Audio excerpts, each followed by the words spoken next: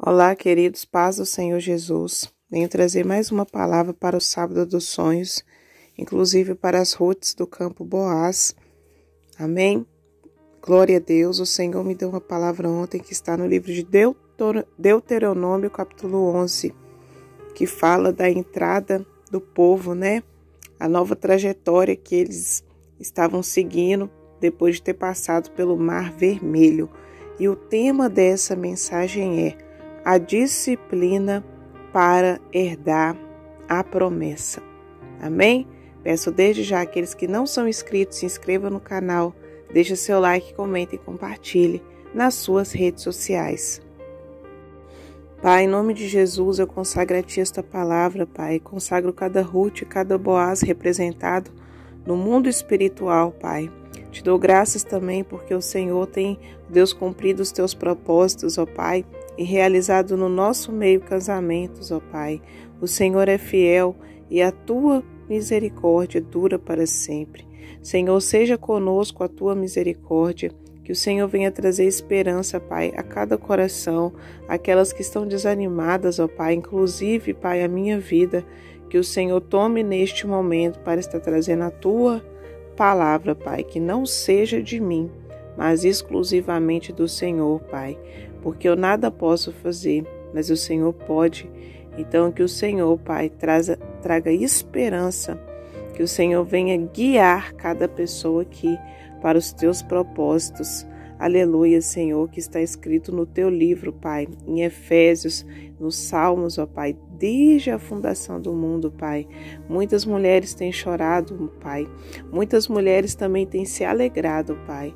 Ó, Senhor, Ó Senhor, assim como muitos homens também desejam viver os teus propósitos, que é o matrimônio, o Senhor já tem nos tirado da terra do Egito, de terras babilônicas e assoladas, ó Pai.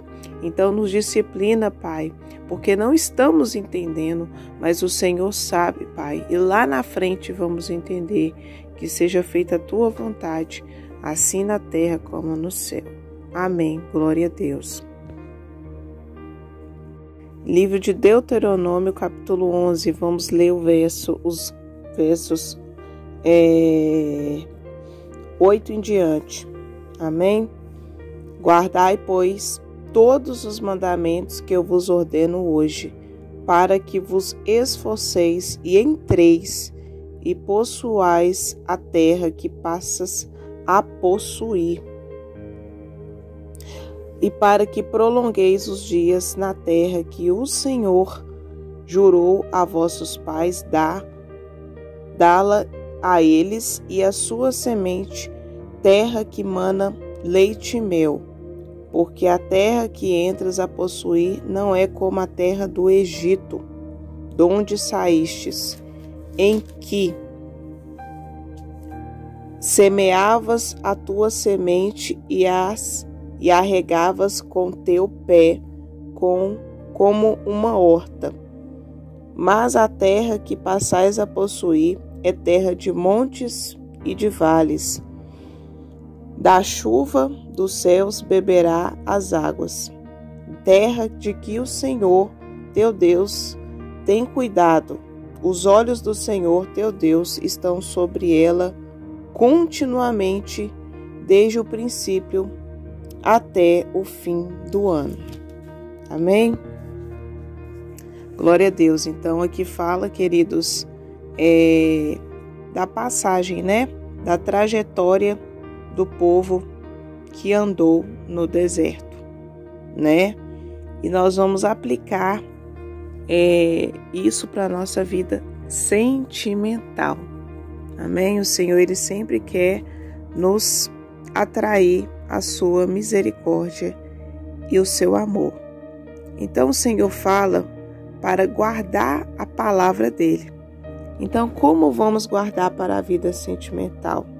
Vamos guardar as promessas de Isaías, amém? Que fala do Messias, e cantares, né? Os estudos, né? Aplicando para a vida específica sentimental.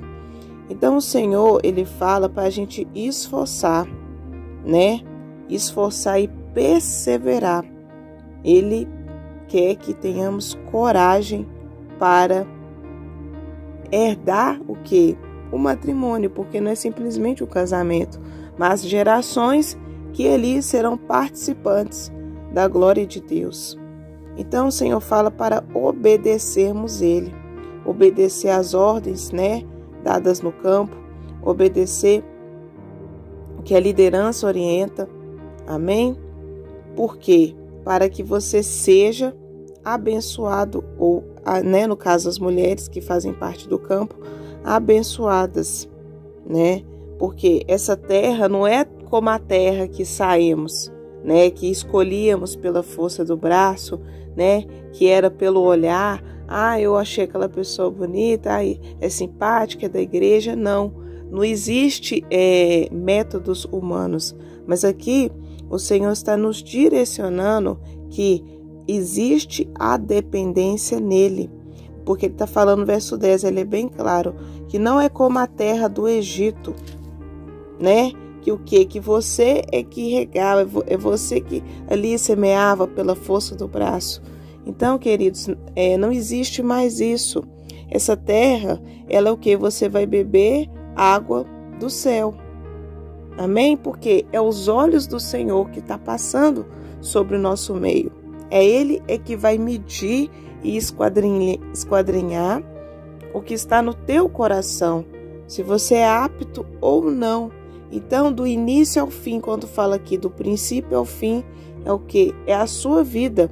Deus ele vai te fazer voltar também, né, ao passado. Lembrarás, mas não é para você ficar no passado, é o que? Te lembrarás de todo o caminho pelo qual o Senhor tem feito andar nesses 40 anos, né? Ele vai te fazer lembrar, porque a terra do Egito é uma terra que não mana leite e mel. É uma terra que não tem muitas vezes a provisão de Deus, porque Deus ele trabalha com coisas específicas. Amém? Deus ele nos atrai ao amor dele, nos coloca no, numa posição e ali nos trata, né? Então, quando vocês começam a meditar, eu peço que vocês meditem Deuteronômio capítulo 11, vocês percebem que a palavra começa assim, ó: Amarás o Senhor teu Deus e guardarás a sua observância e os seus estatutos e os seus juízos e os seus mandamentos todos os dias.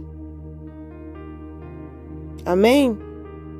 Então o Senhor nos chama para observar. Se nós não colocarmos Ele como centro, será muito difícil tomar posse da promessa porque ele tem que nos tirar de certos lugares. Deus teve que tirar o povo do Egito para tratar, amém? Tratar a vida deles, tirar os deuses ali, tirar eles da servidão, da escravidão espiritual, do cativeiro. Deus já nos tirou, né? Lembrando aqui, Deus já nos tirou do cativeiro. Deus já nos tirou de terras assoladas. Amém? Agora você viverá da dependência do Senhor. Porque quando ele tira com mão forte, igual ele tirou o povo do Egito, é porque ele mesmo vai fazer. Mas quando ele não tira você com mão forte, então você está entregue nas suas vontades. Isso não é bom. Por quê? O futuro de esperança e de paz vem do Senhor. Nós nada podemos fazer pela força do braço.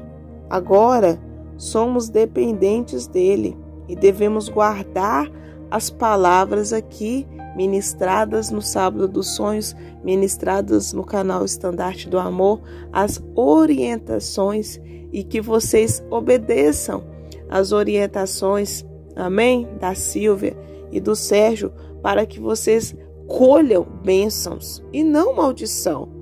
Porque quando Deus levanta pessoas, ele coloca sobre a vida dessa pessoa autoridade. Eu falo quando ele levanta, não é esses pastores coaches que a gente ouvia, né? É, conselheiros da família que nunca tiveram experiência profunda com Deus e nem o chamado para a área específica. Até muitos pastores dentro da igreja não entendem de vida sentimental, que é salvação.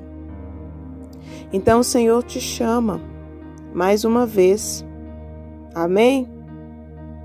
Para que os dias teus prolongue na terra, que Deus jurou dar. Verso 9.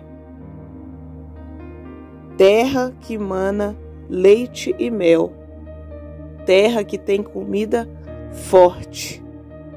Cantares, que é o segredo para a vida sentimental. Amém? Então, queridos, esta é a palavra que o Senhor me tocou ontem. Espero que essa palavra edifique a fé de vocês. Se alguém aqui não é inscrito, se inscreva. Amém? Deixe o seu like e compartilhe nas suas redes sociais. Fica na paz do Senhor.